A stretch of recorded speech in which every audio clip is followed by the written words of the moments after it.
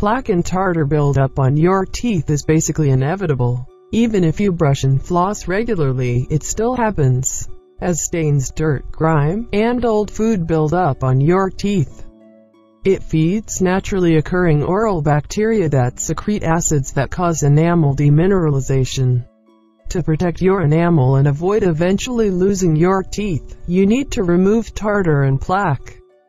For many years people have been using baking soda as a cleaning substance for teeth. It is slightly abrasive so it pries and files nasty stuff from the surface of enamel. Ingredients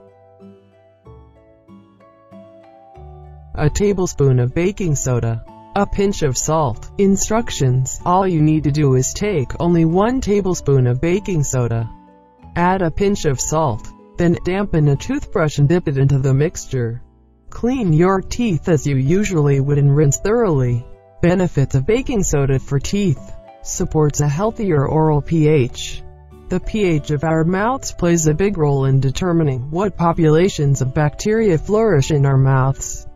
It's generally recognized that the lower, more acidic the pH in the mouth, the greater the risk of tooth decay. Baking soda lowers bad bug count. Plenty of research shows that baking soda really can help in lowering the populations of bad bugs in the mouth.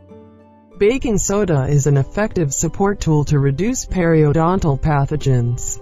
This makes sense if you stop and think about it.